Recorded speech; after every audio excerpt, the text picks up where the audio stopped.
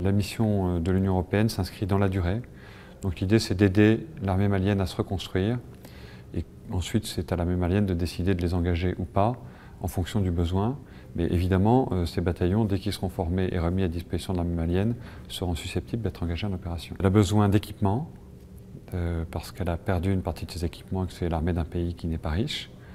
Elle a besoin de formation technique pour ses hommes et elle a besoin surtout de recréer le lien de confiance qui lui donnera la force morale nécessaire pour partir au combat. Elle a à intégrer parfaitement et profondément euh, les règles de respect des droits de la guerre et des droits de l'homme, euh, et elle a à intégrer parfaitement euh, les règles de fonctionnement d'une armée dans un état de droit,